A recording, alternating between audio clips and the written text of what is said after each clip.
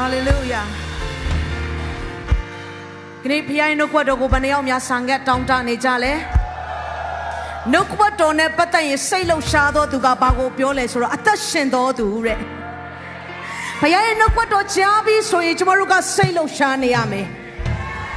ချစ်သူနဲ့တွေ့မှစိတ်လှုပ်ရှားတာမဟုတ်ဘူးနော်ဖခင်ရဲ့နှုတ်ခွက်တော်ကကျွန်တော်တို့ကိုစိတ်လှုပ်ရှားစေတယ်ဟာလေလုယာ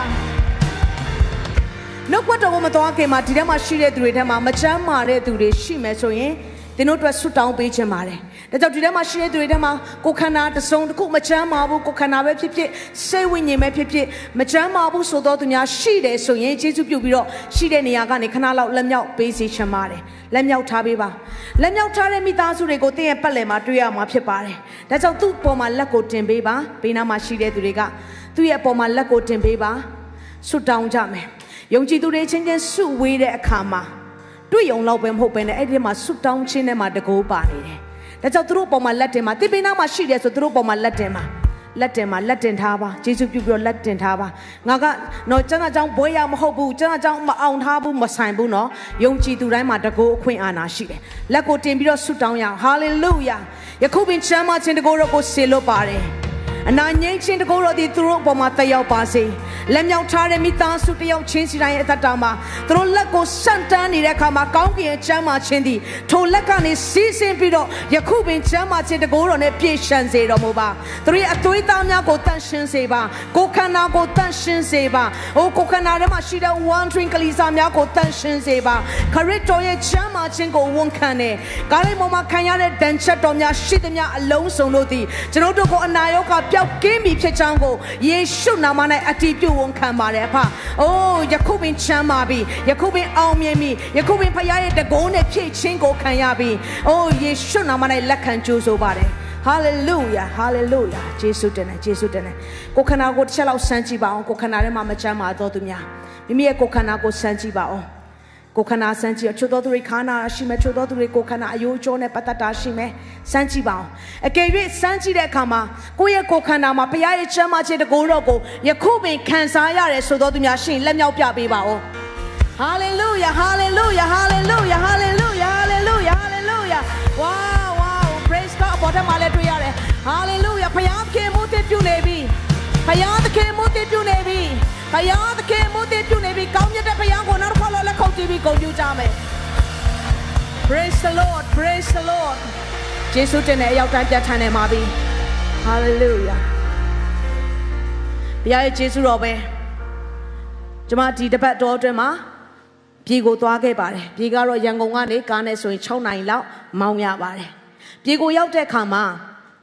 prophetic နဲ့သက်ဆိုင်တဲ့အရာတွေကိုသင်ကြားတဲ့အခါမှာသူတို့လက်တွေ့လှုပ်ဆောင်ကြတယ် လက်တွေ့လှုပ်ဆောင်တဲ့အခါမှာအဲ့ဒီမှာဆွတ်တောင်းပေးတဲ့အခါမှာ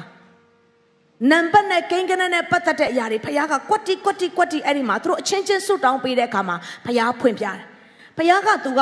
ဟိုစံစာထဲမှာခုနှစ်တက်ကရစ်နေ့ရက်တွေကအမှုမဲ့အမတ်တမန်မဟုတ်ဘူးနော်ခုနှစ်တွေတက်ကရစ်တွေနေ့ရက်တွေကိုကဆဖခင်ကမှတ်ထားတဲ့ဖခင်ဖြစ်တယ်ဒါနဲ့ဆွတ်တောင်းတဲ့အခါမှာညီကိုတယောက်ကထွက်လာပြီးတော့သူဘာပြောလဲဆိုတော့သူ့ကိုစုံတယောက်က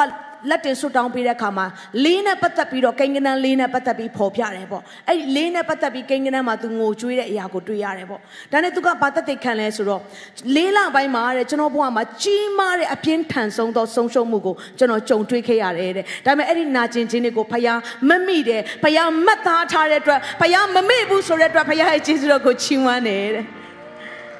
အများကြီးပဲ ချို့သောသူတွေအနာဂတ်နဲ့ပတ်သက်ပြီးဘယ်လိုဆက်သွားရမလဲဆိုတဲ့အရာကိုမသိဘဲနဲ့အနာဂတ်မဲ့နေတဲ့သူတွေရှိတယ်။အဲ့ဒီခါမှာသူတို့ဆွတောင်းပေးတဲ့အခါမှာအနာဂတ်နဲ့သက်ဆိုင်တဲ့အချင်းချင်းဆွတောင်းပေးတာပါပဲ။ဒါပေမဲ့ဖွင့်ပြချက်ကိုမြင်ပြီးတော့အရှိကိုဘယ်လိုဆက်သွားရမလဲဆိုတဲ့အရာကိုသူတို့သိမြင်ခံစားလာရတယ်။ကျွန်မပြောပြစီနောက်ဆုံးသောကာလမှာဘုရားခင်ကကြီးစွာသွန်လောင်းနေတယ်။နောက်ဆုံးသောကာလမှာဘုရားရဲ့ဝိညာဉ်တော်တကိုးတော်ကအရှိန်ဟုန်နဲ့သွန်လောင်းနေတာဖြစ်တယ်။ အနေအဲ့ဒီຢာထဲမှာကျမတို့ကစီးမျောတတ်ဖို့ရန်အတွက်ဖြစ်တယ်။ကြံခဲ့မနေဘဲနဲ့အရှိန်ဟုန်နဲ့သွားတတ်ဖို့ရန်အတွက်ဖြစ်တယ်။ဘေကလို့လက်ဆွဲနှုတ်ဆက်ပြီးပြောလိုက်ပါဦး။ဘုရားရဲ့တကိုးတော်ထဲမှာအရှိန်ဟုန်နဲ့သွားတတ်ပါစေတငယ်ချင်းလို့။ဘုရားကျေးဇူးတော်ပဲ။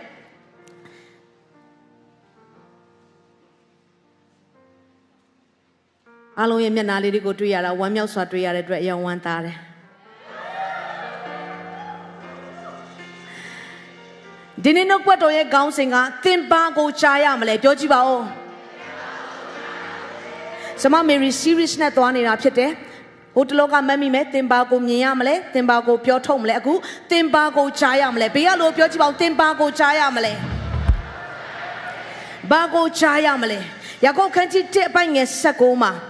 တို့ဖြစ်၍ငါချစ်တော်ညီကိုတို့ခတ်သိမ်းသောသူတို့သည်နာကြားခြင်းငါလှင်မြန်ကြစေစကားပြောခြင်းငါ၎င်းအမျက်ထွက်ခြင်းငါ၎င်းနေကြစေ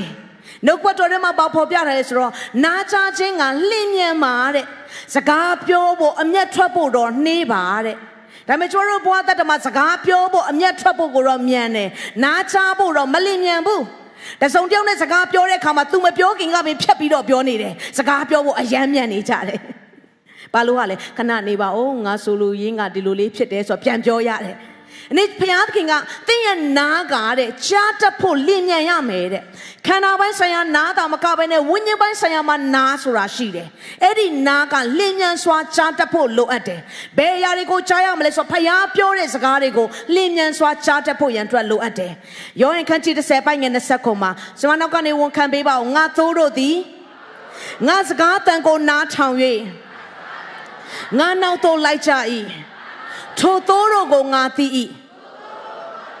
ဘုရားကသူ့ကိုသူဘလို့ခိုင်းနိုင်လဲဆိုသူကသိုးထိန်လို့ခိုင်းနိုင်ပလိုက်တယ်ကျွန်တော်တို့တယောက်ချင်းစီတိုင်းဒီမှာထိုင်နေတဲ့သူတယောက်ချင်းစီတိုင်းကဖခင်ရဲ့သိုးတွေဖြစ်တယ်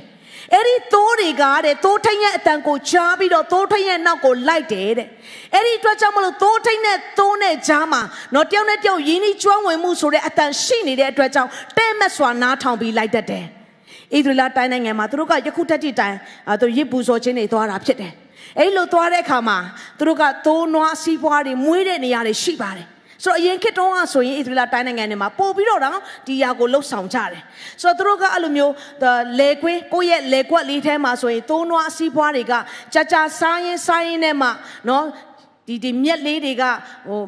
ဒီအမှုတွေမရှိတော့ဘူးအရင်နေဖြစ်လာတယ်တိတ်ပြီးတော့မကောင်းတော့ဘူးအဲ့ခါဘာဘာလို့တက်ကြလဲဆိုတော့သူတို့ကတခြားနေရာကိုခေါ်သွားတယ်စကြက်ကောင်းတဲ့တောင်ကုန်းတောင်တန်းတွေဂျိုက်ဝမ်းလေးတွေနေရာတွေမှာခေါ်သွားပြီးတော့သိုးတွေကိုခေါ်သွားပြီးတော့အဲ့ဒီနေရာမှာလွတ်ထားကြတယ်ဖြစ်ချင်တော့သိုးထိန်တဲ့သူ့ရဲ့သိုးလောက်ပဲမဟုတ်ဘဲနဲ့သိုးကလည်းနည်းနည်းနော်မဟုတ်ဘူးနော်အကောင်ရာနဲ့ချီပြီးတော့ရှိတယ်ဒါနဲ့အဲ့ဒီလိုသိုးတွေကိုလွတ်ထားတဲ့အခါမှာသူတယောက်တည်းပဲဒီစကြက်ကိုရှာတွေ့တာသူပဲပိုင်တာမှမဟုတ်တာတခြားသိုးထိန်တွေကလည်းသူ့လိုမျိုးလှုပ်ဆောင်တဲ့သူတွေရှိတယ်ဒါနဲ့အဲ့ဒီအခါမှာနော်တခြားသိုးထိန်တွေကလည်းသူတို့ရဲ့သိုးတွေကိုခေါ်လာပြီးခေါ်လာပြီးတော့အဲ့ဒီကွင်းကျင်ကြီးထဲမှာလွတ်ထားပေးလိုက်တယ်ဒါနဲ့ဘာတွေဖြစ်လဲဆိုတော့သိုးတွေကတကောင်နဲ့တကောင်ရောလာကြတယ်သူ့ရဲ့သိုးကလည်းဒီဘက်ကိုသွားရင်သွားတယ်ကိုသိုးကလည်းဒီဘက်ကိုပြန်လာရင်လာရင်အမျိုးမျိုးဖြစ်နေကြတယ်ဒါနဲ့အဲ့လိုဖြစ်တဲ့အခါမှာသိုးရင်းကဘာလုပ်ရလဲဆိုတော့သူကပြန်ပြီးတော့သိုးတွေအားလုံးကိုစုစည်းဖို့လှုပ်ဆောင်တဲ့အခါမှာအတန်ပေးရတယ်ပြောကြည့်ပါဦးဘာပေးရလဲ အတန်ပေးရတယ်သိုးတိုင်းမှာတော့လေဘက်တွေပါနေတာမှမဟုတ်တာအတန်နဲ့ပဲကြားပြီးခေါ်ရတယ်တကောင်ချင်းစီခေါ်မယ်ဆိုရင်တော့ဂုတ်ဆွဲလို့ကတော့မနက်ကနေဆွဲလိုက်တာညအထိတောင်ဆွဲလို့ပြီးမှာမဟုတ်ဘူးဒါနဲ့သိုးတိုင်းကစပြီးတော့အတန်ပြုတ်လိုက်တယ်ဥမာနေနဲ့ပေါ့ယီဟီယီဟီလို့ပြုတ်လိုက်တယ်ဆိုရင်ဒါကြတဲ့အဲ့ယီဟီလို့အတန်ကြားတဲ့သိုးတွေကအဲ့ဒီသိုးတဲ့ရှိရာအရက်ကိုလာပြီးတော့တနေရာထဲမှာစုနေကြတယ်ဒါနဲ့နောက်သိုးတွေကလည်းသူကလည်းသူ့သူ့ရဲ့နော်သိုးတွေကို အတန်ပြုတ်ဖို့အတွက်သူလုပ်တယ်ဝူးဝူးဝူးဆိုတဲ့ခါမှာအဲ့ဒီဝူးဆိုတဲ့အတန်ချတဲ့သိုးတွေအကုန်လုံးကအဲ့သိုးရင်းစီမှာပြန်လာတယ်သိုးထင်းတစ်ယောက်နဲ့တစ်ယောက်အတန်မတူဘူးအဲ့ဒီမတူတဲ့အတန်မှာသိုးတွေကချားပြီးတော့လိုက်တယ်ဒီလိုပဲဖခင်ကတင့်ကိုခေါ်နေပါတယ်စကားပြောနေပါတယ်နေရာတိုင်းမှာဖခင်စကားပြောတယ်အခြေအနေတိုင်းမှာမတူညီတဲ့ပုံစံတွေနဲ့ဖခင်တခင်တင့်ကိုစကားပြောတတ်တယ်။အ နေတိုးတိန်ဆိုတဲ့ခမီးတော်ဘုရားသခင်ကကျမတို့ကိုဘယ်အရက်မှာခေါ်တတ်လဲဆိုတော့နော်ကျမတို့ကိုစကြက်ကောင်းတဲ့နေရာမှာလဲခေါ်တတ်တယ်ပြောကြည့်ပါဦး။ သိုးတိုင်းရဲ့တဘာဝဒီသူ့ရဲ့သိုးတွေကိုအကောင်းဆုံးဆိုတဲ့နေရာကိုပို့ဆောင်တယ်ဒီလိုပဲဖယားခင်ကနော်ကျမတို့ရဲ့ဘဝတတ်တာကိုစိမ့်လန်းသောချက်စားရတာယာသောမျက်နာကိုအမြဲတမ်းပို့ဆောင်ခြင်းနဲ့ဖယားခင်ဖြစ်တယ်နောက်ဆုံးတင်ပြဿနာကြုံရင်တော့မှအဲ့ဒီပြဿနာကတင်းရဲ့နောက်ဆုံးမဟုတ်ဘူးစိမ့်လန်းသောချက်စားရရဲ့ကိုသွားဖို့ရန်အတွက်တင်ဖြတ်နေရတဲ့လမ်းခုလက်ပဲဖြစ်နေတယ်ဟာလေလုယာနောက်တိုးရင်းကဘယ်အချိန်မှာတိုးတွေကိုပြန်ခေါ်တတ်လဲဆိုတော့ NEA ချရောက်တဲ့ဝမဲ့အချိန်မှာခေါ်တတ်ပါတယ် သိုးရင်းကခေါ်ပြီးဆိုရင်ဟိုအရှိမဆက်သွားမယ်ဆိုရင်ချင်းတဲ့အန်ရရှိနိုင်တယ်။သို့ဒီမို့အရှိမဆက်သွားတယ်ဆိုကြောက်ရှိနိုင်တယ်။သူ့ရဲ့သိုးပြုတ်ကြတော့မယ်ဆိုတဲ့အရာကိုကြိုတင်ပြီးတော့အဝေးကနေစဉ်းစားလိုက်ုံနဲ့သိုးရင်းကကြိုမြင်နိုင်စွမ်းရှိတဲ့အတွက်ကြောင့်မလို့ချက်ချင်းပဲသိုးတွေကိုပြန်ပြီးတော့စုစည်းတယ်။ယနေ့ဖယားခင်ကလည်းတင်ဘုံအသက်တာမှာကြောက်ထဲကြတော့မယ်။ဒူးဆက်ထဲမှာနစ်မုန်းတော့မယ်ဆိုရင်အဲ့လိုမဖြစ်မီကမင်းတင်းရဲ့အတွင်းဝိညာဉ်ကိုဖယားကစကားပြောတယ်။ငါသားဒီຢာကငါနေတတ်တဲ့အရာမဟုတ်ဘူး။ဒီခြေလန်းကမင်းသွားရမယ့်အရာမဟုတ်ဘူးဒီလောက်ကမင်းလောက်ရမယ့်လားမဟုတ်ဘူးပြန်လာခဲ့ပါဆိုပြီးကိုယ့်ရဲ့အတွင်းထဲမှာဘုရားရဲ့စကားပြောခြင်းနဲ့ပြန်ဆွဲခေါ်ခြင်းကိုခံစားရတယ်မဟုတ်ဘူးလားအကယ်၍အဲ့လိုခေါ်တဲ့ခါမှာကိုကတော့ကိုကြိုက်တဲ့လမ်းတိုင်းပဲသွားမယ်ဆိုရင်လောက်တာလောက်ရတာဒီလောက်ထဲမှာမပြောတော့ဘူးဒါကြောင့်ဒုစရိုက်ထဲမှာနှိမ့်မုန်းတဲ့သူတွေကျမပြောပြခြင်းနဲ့သင်တို့ပြောရဲ့လားသင်တို့ပြောရဲ့လားတကယ်ပြောရဲ့လားဘုရားကနေဝေးသွားပြီဆိုရင်ပျော်ခြင်းအထဲမှာအစစ်မှန်မရှိတော့ဘူး နောက်တိုးရင်းကဘယ်အချိန်မှာခေါ်လဲဆိုတော့သွားရမယ့်အချိန်နဲ့တန်ရမယ့်အချိန်စကြက်ကိုစတင်သွားရမယ့်အချိန်နဲ့အဲ့ဒီရက်ကနေစားပြီးတဲ့အခါမှာပြန်လာရမယ့်အချိန်မှာပြန်ခေါ်တတ်ပါတယ်ဒီလိုပဲကျွန်တော်တို့ဘဝအသက်တာထဲမှာဝိညာဉ်ပိုင်းဆိုင်ရာမှာသွားရမယ့်အချိန်ရှိတယ်နားရမယ့်အချိန်ရှိတယ်ပြန်ရတဲ့အချိန်ရှိပါတယ်သွားရတဲ့အချိန်ကတော့သင်ရဲ့ဝိညာဉ်ပိုင်းမှာပြင်ပနဲ့သက်ဆိုင်တဲ့ຢာတွေပဲဖြစ်ဖြစ်အမှုတော်မြတ်ပဲဖြစ်ဖြစ်သင်သွားရတဲ့အချိန်ရှိတယ်ဒါပေမဲ့ပြန်နားရတဲ့အချိန်ကတော့မျက်မှောက်တော်ထဲမှာဖြစ်တယ်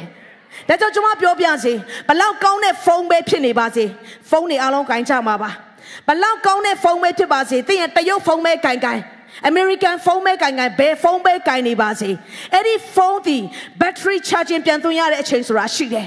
ဒီလိုပဲဝိညာဉ်တက်တာမှာဖခင်ရဲ့မျက်မှောက်တော်မှာပြန်အနားယူရတဲ့အချိန်ဆိုတာရှိတယ်အပြစ်မတင်ချိုက်တဲ့လောက်ပြန်သွားဒါပေမဲ့ဖခင်ရဲ့မျက်မှောက်တော်ထဲမှာအနားယူတတ်ရတယ် သင်မတင်ဝိညာဉ်မဆိုင်မှာဘလောက်ပဲဗိတ်သိက်ပဲမြင့်နေပါစေဝိညာဉ်မဆိုင်မှာဘလောက်ပဲအစပြုတ်နေပါစေဖခင်ရဲ့ဝိညာဉ်ထဲမှာဖခင်နဲ့အတူခြားချင်းပြန်ဖြစ်ရတဲ့အချိန်ဆိုတာရှိတယ်ဘုရားခင်ကသိုးတင်းကြီးကသင်ရဲ့အသက်တာကိုခြားခြင်းဖြစ်ဖို့ရအတွက်သူကပြန်ခေါ်တတ်ပါတယ်ဟာလေလုယာနောက်ပဲအချိန်မှာသိုးတင်းကသူ့ကိုအတန်ပြုတ်လဲဆိုတော့သိုးပြောက်လို့လိုက်ရှာတဲ့အခါမှာလည်းအတန်ပြုတ်ပါတယ်အဲ့လိုသိုးပြောက်လို့လိုက်ရှာတဲ့အခါကတော့သိုးကသူကိုယ်တိုင်မပြန်တတ်တော့ဘူး သိုးထင်းကပဲတစ်ဖက်သက်လိုက်ရှာရတယ်ဒီຢာလေးကဘာကိုပြောလဲဆိုတော့ဖယားကတင်ပျောက်နေတဲ့အချိန်တွေမှာပဲလင်းတင့်ကိုပြစ်မထားဘူးလိုက်ရှာတယ်တင်ဝေးမရောက်ပြီးတော့ငါဘသူနဲ့မှအဆက်အသွယ်မရှိတော့ဘူးငါ့ကိုလူတွေကပြစ်ထားပါတယ်လို့ခံစားနေရတဲ့အချိန်မှာတော့မှဖယားကငါလိုက်ရှာနေတယ်ငါရဲ့သားငါလိုက်ရှာနေတယ်တခါတည်းကျွန်တော်တို့ကအသက်တာထဲမှာခံစားရတဲ့ຢာက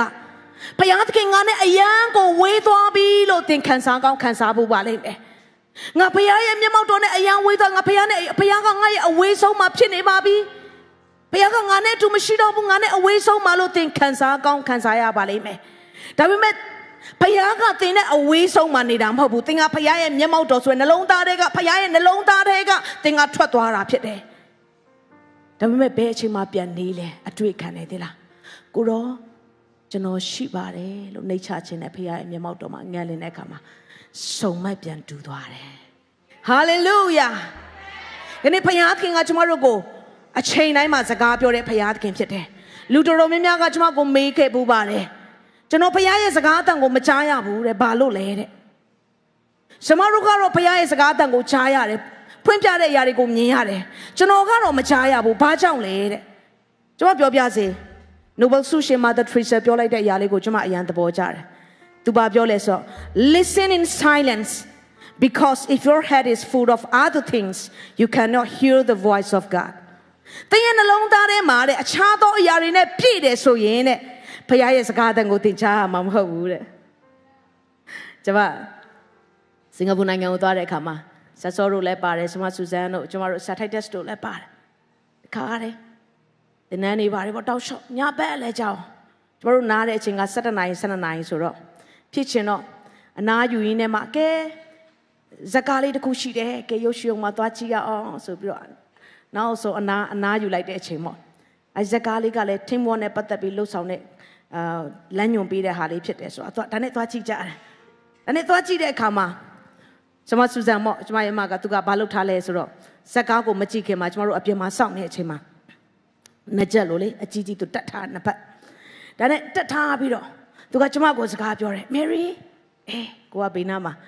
သူမေးတယ်ဒါနဲ့ဟုတ်တယ်ဘာညာသူကိုကစကားပြောတယ်အေးဟုတ်တယ်ဒါနဲ့ဘယ်သွားမလဲဘာသူကလေသူ့ကိုပြန်ပြောတဲ့ခါမှာဟမ်ဘာပြောတာလဲဟမ်ဘာပြောတာလဲနှစ်ချက်ကြီးကြားပြီးတော့အတန်ကြီးကိုမြင်နေတဲ့ခါမှာရှူတော်တော်တော်တော်တော်အတန်လေးကိုနေပြောဘာပြောတာလဲကျွန်မပြောပြစီတစုံတစ်ခုကသင်နားထဲမှာဖြည့်တယ်ဆိုရင်ဖခင်ရဲ့စကားတန်ကိုသင်မကြားရတော့ဘူး။ ကနေဖယားဖင်ကလူတိုင်းကိုစကားပြောတယ်။ဘာကြောင့်လဲ။သူကအသက်ရှင်တဲ့အတွက်ကြောင့်မလို့လူတိုင်းကိုစကားပြောတယ်။ဒါပေမဲ့ကျမတို့ကဖယားရဲ့အတန်ကိုဘာကြောင့်မကြားလဲဆိုတော့ကျမတို့နားထဲမှာဖယားရဲ့အတန်ကိုဖြည့်ဖို့ရန်အတွက်ဖယားရဲ့အတန်မတိုင်ခင်မှာတခြားသောຢာတွေကပြည့်ရှံပြီးတော့ပြည့်နေတဲ့အတွက်ကြောင့်မလို့မကြားတော့တာဖြစ်တယ်။ဖယားသခင်ကသင်ကိုနီလန်းပေါင်းစုံနဲ့စကားပြောတယ်။ ဘလို့ဖရားရဲ့အတန်ကိုကြားနိုင်လဲဆိုတော့ချို့သောသူတွေကအိမ်မက်အဖြစ်မြင်မှတ်တာရှိတယ်ချို့သောသူတွေကပြားတဲ့ယူပါရောအဖြစ်တွေ့မြင်ရတာရှိတယ်ချို့သောသူတွေကရုပ်ပုံကားချက်တချို့ကအတန်တော်တချို့ကကြတော့ချမ်းပိုက်အဖြစ်စကားပြောတယ်တချို့ကကောင်းရင်တမန်အဖြစ်လာစကားပြောတယ်တချို့ကဖရားရဲ့လူ prophet တွေအဖြစ်စကားပြောတယ်တစုံတစ်ခုနမိတ်လက္ခဏာဖြစ်ရတစ်ခုတစ်ခုခုနဲ့ဖရားစကားပြောတယ်နောက်ဆုံးဖရားကဘလောက်တောင်စကားပြောတတ်လဲဒီလားတရိတ်ဆန်နဲ့တောင်စကားပြောတတ်တဲ့ဖရားသခင်ဖြစ်တယ် တရိတ်ဆန်အားဖြင့်လည်းတင့်ကိုစကားပြောနိုင်တယ်ကျွန်တော်မူဆယ်မှာရှိတဲ့အခါမှာမူဆယ်မှာကျမတို့ရောက်တဲ့အခါမှာတင်နန်းမှာအဲ့ဒီညမတိုင်ခင်မှာတင်နန်းမနေ့ပြန်လို့တင်နန်းမှာဆိုရင်ကျမရဲ့အဲ့တော့ဆိုရင်မူဆယ်နဲ့ပတ်သက်ပြီးကျမလုံးဝလည်းမသိပါဘူးနေရာအစိမ့်သက်သက်ဖြစ်တယ်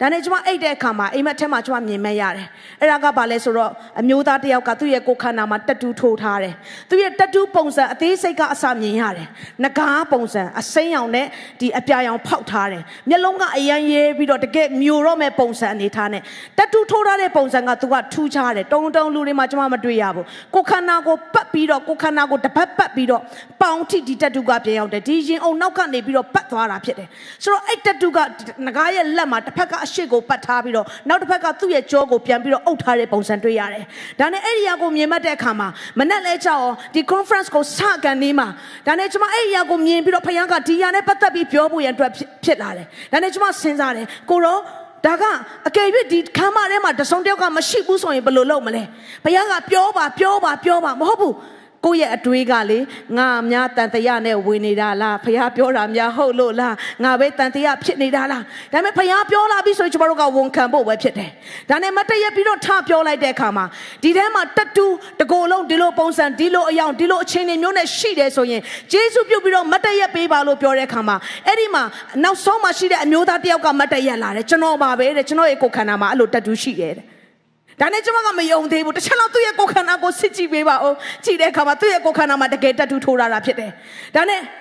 သူရဲ့သူနဲ့ပတ်သက်ပြီးတော့ prophet ပြုချက်တွေကိုဆေလို့တယ်ဘုရားသခင်ကတင့်ကိုအနာဂတ်တဲ့ပေးခြင်းနဲ့သက်ဆိုင်တဲ့ຢာတွေကိုဆေလို့တဲ့အခါမှာအဲ့လိုဆေလို့ပြီးတဲ့အခါမှာ तू ဘာပြောလဲဆိုတော့ကျွန်တော်မနစ်ကပဲတဲ့ထောင်ထဲကထွက်လာတာဖြစ်တယ်တဲ့ကျွန်မပြောပြစေတင်အပြစ်များပြားပြီးဖခင်နဲ့အဝေးရောက်နေတော့မှဖခင်ကသူ့စီကိုပြန်နီးလန်းပေါင်းစုံနဲ့ဆွဲခေါ်နေတာဖြစ်တယ်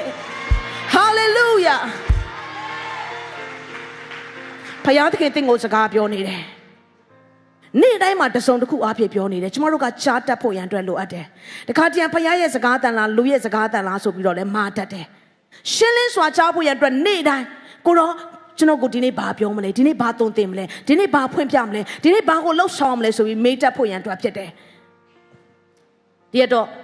ကျွန်မကားစီဖို့ရန်အတွက်စောင့်နေတယ်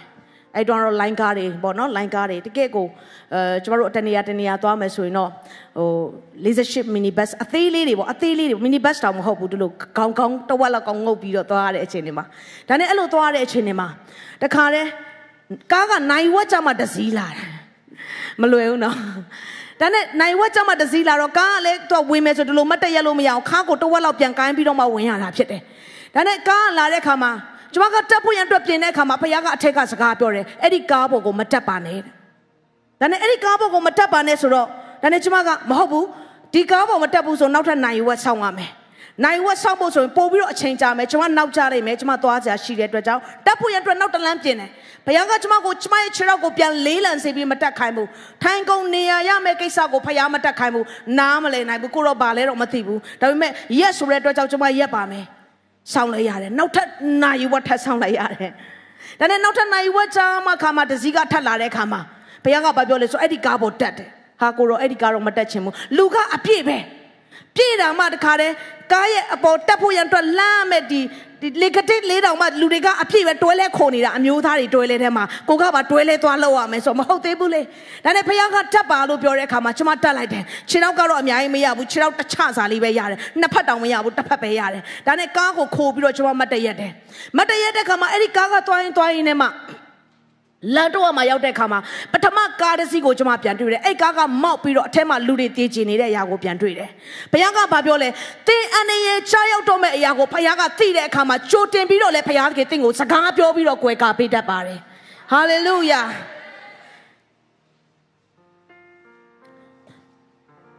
ရှစ်ဆယ်နှစ်ခုမြောက်သောဆန်လန်ပိုက်ငယ်6မှာကျွန်မတို့ကနေဝန်ခံပေးပါဦးသင်တို့သည်ဖျားဖြစ်ကြ၏ရှိသမျှတို့သည် အမြင့်ဆုံးသောဖရာဤသားဖြစ်ကြ၏ဟုငါဆိုသည်ဒီကြမိုင်လေးကိုကြည့်တဲ့အခါမှာသင်တို့ဒီဖရာဖြစ်ကြ၏ဆိုမခံစားနိုင်ဘူး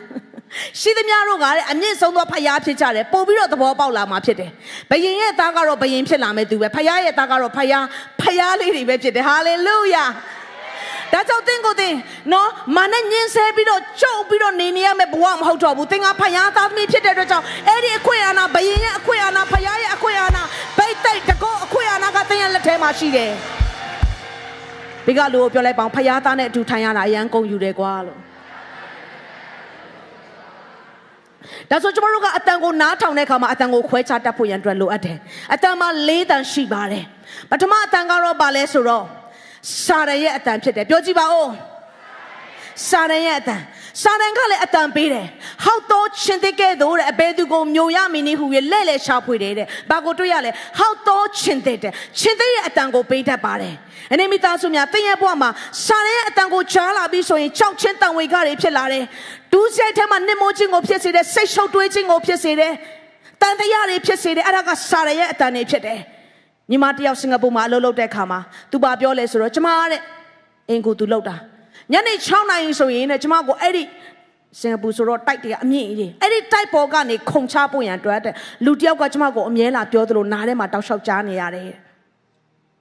အဲ့ဒါတဲ့ကျမအမြဲတမ်းဖြစ်တယ်နေ့တိုင်းဖြစ်နေတယ်တဲ့ကျမဘလို့မှဘလို့သွားသွားသွားနောက်ဆုံးအဲ့ဒီ runner ဘက်ကိုပဲကျမပြန်ရောက်တယ်တဲ့အဲ့ဒီအတန်ကိုကျမကြားနေရတယ်တဲ့ကျမပြောပြစီမာနရဲ့အတန်ဒီတင့်ကိုတိတ်ခြင်းကိုဖြစ်စေတယ်ရှုပ်ထွေးခြင်းကိုဖြစ်စေတယ်ကြောင်းယုံခြင်းနဲ့ပိတ်နေတာမာနရဲ့အတန်ပဲဒါနဲ့ကျမပြောလိုက်ဆိုအဲ့ဒီအတန်ကိုနေထုတ်ပလိုက်အဲ့ဒီအတန်ကိုနားမထောင်နဲ့တင့်ရဲ့နားမှာကိုယ်ွယ်ခြင်းနဲ့သက်ဆိုင်တဲ့တခြင်းတွေကိုနှစ်ချက်ထဲမှာတင်နှစ်ချက်ထဲမှာတင်ကဖွင့်ပြီးတော့နော်ဒီဒီဒီဒီဖုန်းထဲကနေဖွင့်ပြီးတော့နှစ်ချက်မှာထပ်ပြီးတော့ဒီຢာတွေကိုတင်နားထောင်ဖို့ဖြစ်တယ်။ဒါနဲ့အဲ့ဒီတမှာသူ့ရဲ့နားထဲမှာပြည့်တဲ့အရာကမနဲ့တံမပြည့်တော့ဘူး။အတွေးခေါ်တွေကဒီနှစ်ချက်ထဲမှာကြားနေရတဲ့အရာကဖခင်ရဲ့ချီးမွမ်းတန်တွေကိုးကွယ်တဲ့အတန်တွေဘုရားသခင်ဘသူဖြစ်လဲဆိုတဲ့အရာတွေဘုရားသခင်ဘလို့ချစ်လဲဆိုတဲ့အရာတွေကိုကြားတဲ့အခါမှာအဲ့ဒီကစပြီးတော့တတ်သိခြင်းတဲ့အရာသူ့မှာပျောက်သွားတယ်။နောက်ထပ်အတန်တန်ကရောဖခင်အတန်ဖြစ်တယ်။ပြောကြည့်ပါဦးဖခင်ရဲ့အတန်။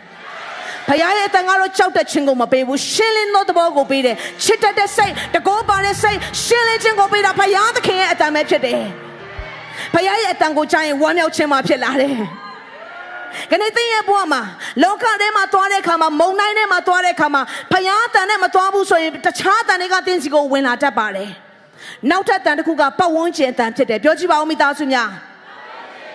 ပတ်ဝန်းကျင်တန်ဖြစ်တယ်ပတ်ဝန်းကျင်ကသင်ပတ်လည်မှာရှိတဲ့သူတွေသင်နဲ့သက်ဆိုင်တဲ့သူတွေတငယ်ချင်းတွေ Facebook တွေကအစပါတယ် Facebook ကလည်းသင်ရဲ့ပတ်ဝန်းကျင်မှန်နော်ဘာကြောင့်လဲယူဟာဖြစ်နေတယ်လို့ပြောတာ哦မနေ့မိုးလင်းလို့ Facebook ပို့လိုက်ပြီးဆိုရင်ပတ်ဝန်းကျင်အတန်တွေကြားရပြီဟာကွာမလုပ်တဲ့မှာဘူးကွာဖြစ်လာတယ်ပတ်ဝန်းကျင်အတန်ဖြစ်တယ်ပတ်ဝန်းကျင်မှာကြားတဲ့အတန်ကတင်သွားနေတဲ့အချိန်ကိုလည်းရက်စီတယ် မုတ်ဆိုးမနဲ့တာနဲ့အောင်အိုးလို့မရှိတော့ဘူးလို့ပြောလိုက်တဲ့ခါမှာဘေးကအတန်ကိုကြားတဲ့အခါစီပါရက်သွားတယ်။အနေကျမတို့ဘဝအတန်မှာတက်တာထဲမှာဘေးကအတန်ကိုတင်ကြားတဲ့အရာကတင့်ကိုရက်တန့်စေလားအရှိန်ဟုန်နဲ့သွားစေလား။အကယ်၍တင့်ကိုရက်တန့်ခြင်းကိုဖြစ်စေတယ်။ပတ်ဝန်းကျင်အတန်ကိုတင်ကြားရင်းနဲ့မှအဲ့ဒီຢာကတင့်ကိုဆွဲချစရာဖြစ်တယ်ဆိုရင်အဲ့ပတ်ဝန်းကျင်အတန်တွေကလေးတင်ပိတ်တတ်ဖို့ရန်အတွက်လိုအပ်ပါတယ်။အာမင်။တချို့သောသူတွေပတ်ဝန်းကျင်အတန်ပိတ်ဖို့ဘုရားစကားပြောနေတယ်။ ပဝန်းကျင်အတန်တွေပိတ်ပါ။ဘာကြောင့်လဲ။ပဝန်းကျင်အတန်ကြားတာများပြီးတော့အဲ့ရေစီးချောင်းထဲမှာတင်လိုက်သွားဖို့မဟုတ်ဘူး။တင်းရဲ့သွားမယ်လမ်းကြောင်းကိုတင်သိဖို့လိုအပ်တယ်။နောက်တစ်ခုကဘာလဲဆိုတော့ကိုယ့်ရဲ့အတန်ဖြစ်တယ်ပြောကြည့်ပါဦး။ကိုယ့်ရဲ့အတန်ကတော့ပဝန်းကျင်ကအတန်မဟုတ်ဘဲနဲ့ကိုယ့်ရဲ့အတွေးခေါ်အယူအဆဆုံးဖြတ်ချက်ကနေလာတဲ့အတန်ဖြစ်တယ်။ဘပိသေတရရေအိုင်မှာ38နှစ်ပတ်လုံးယောဂဝိညာခံစားနေရတဲ့နာယောဂခံစားနေရတဲ့အမျိုးသားတစ်ယောက် တုံးလုံးလဲတဲ့အခါမှာယေရှုကသူ့ကိုမေးလိုက်တယ်မင်းချမ်းမာခြင်းသလားတဲ့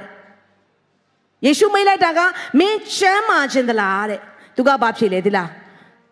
ကျွန်တော်ကိုရည်တဲ့တုံးချပေးမဲ့သူမရှိဘူးယေရှုမေးနေတာကမင်းချမ်းမာခြင်းသလားဟုတ်ကဲ့ကျွန်တော်ချမ်းမာခြင်းပါတယ်ပြီးသွားပြီချမ်းမာတော့မှာကျွန်တော်ကိုရည်တဲ့တုံးဖို့မဲ့သူမရှိဘူးပဲဖြစ်နေတယ်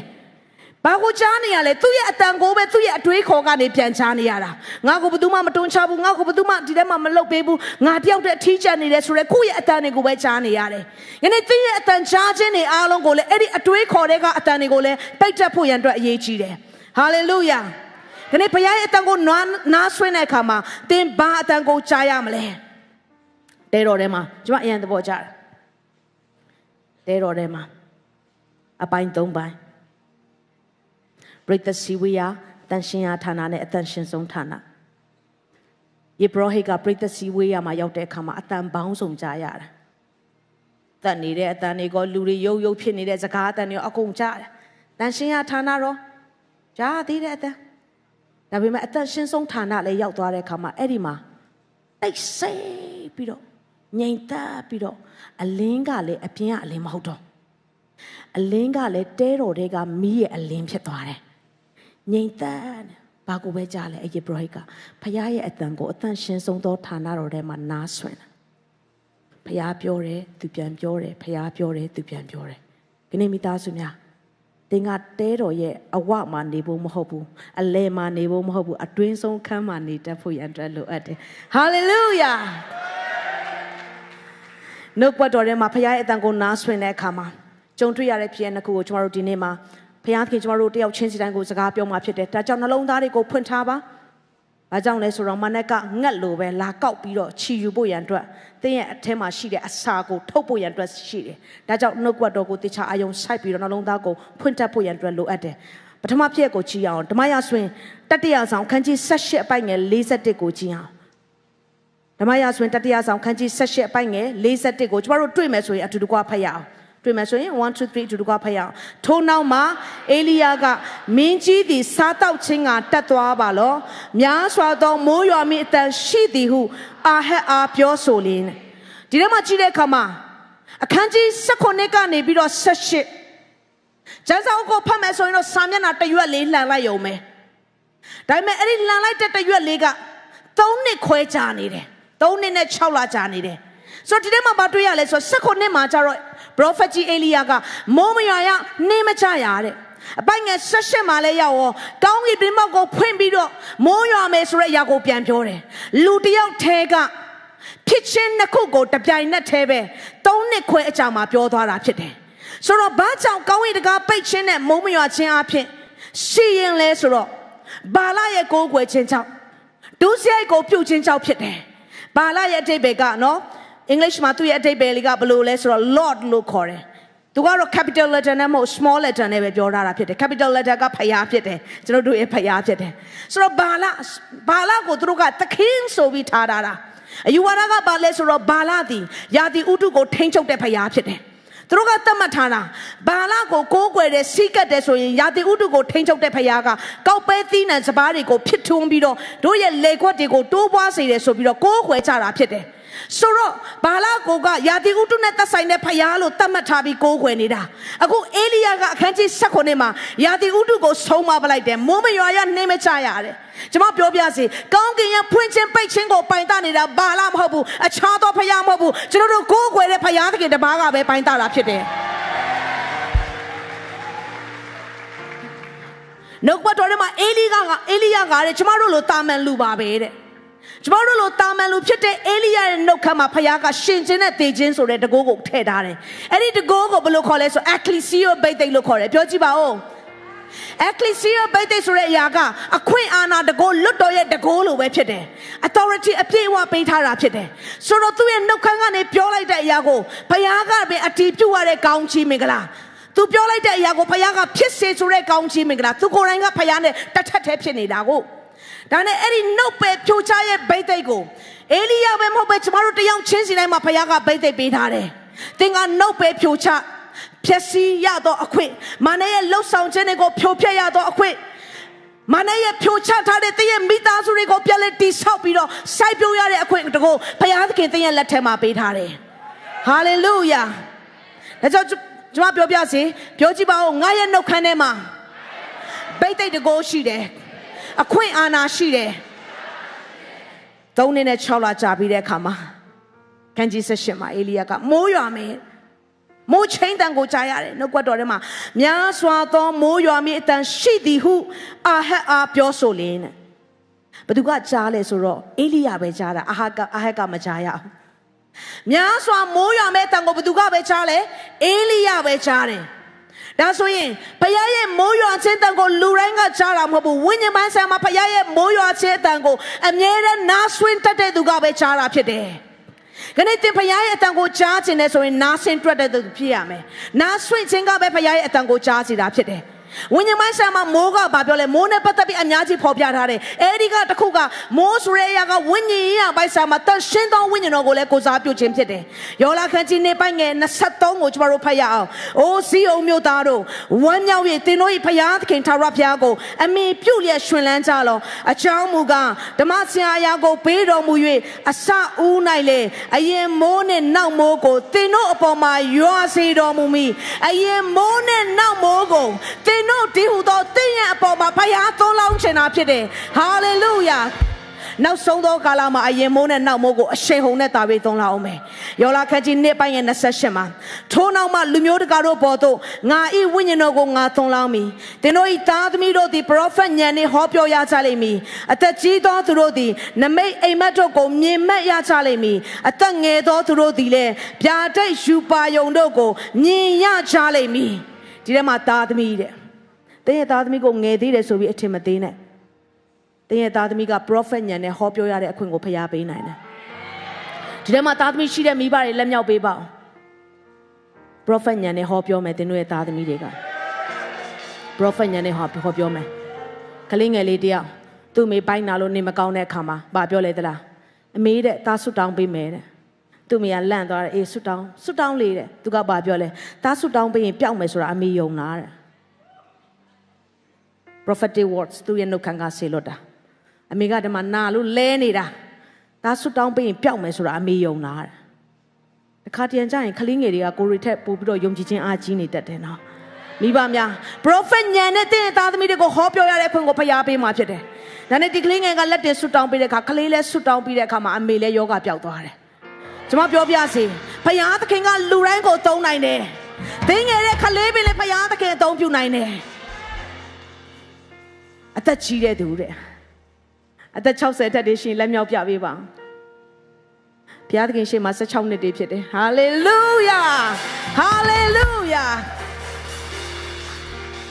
မောရှေကိုဖျားသုံးတာကအသက်ငယ်တဲ့အချိန်သုံးသွားတာမဟုတ်အသက်ကြီးပြင်းတဲ့အချိန်မှာဖျားဆခေါ်တာဒါကြောင့်သင်တို့ရဲ့အသက်အရွယ်ကိုမကန့်သတ်ထားပါနဲ့ငါအသက်ကြီးနေပါပြီနောက်နောက်နောက်လူငယ်တွေလောက်ပါစေမစင်စားပါနဲ့ယခုအချိန်နေမှာပဲလေဖျားသခင်အသုံးပြုနိုင်တယ်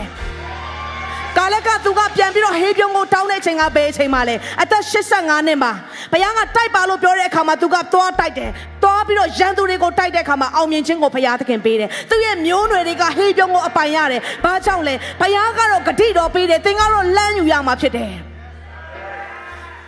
အသက်ငယ်တော်သူတယ်ဒီထဲမှာသားသမီးပြီးတဲ့အခါမှာအသက်ကြီးပြီးသွားတဲ့အခါမှာအသက်ငယ်လူငယ်တွေပြားတဲ့ယူပါယုံမြင်မဲ့ရမယ်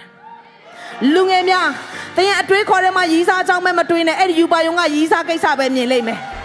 ဖယားနဲ့ပတ်သက်ပြီးတွေးဖယားနဲ့ပတ်သက်ပြီးစဉ်းစားဖယားနဲ့ပတ်သက်ပြီးယူသွဖယားကင်ကကိုပါပြောမလဲဆိုရရကိုပဲသင်ရဲ့အတွေးခေါ်ထဲမှာစဉ်းစား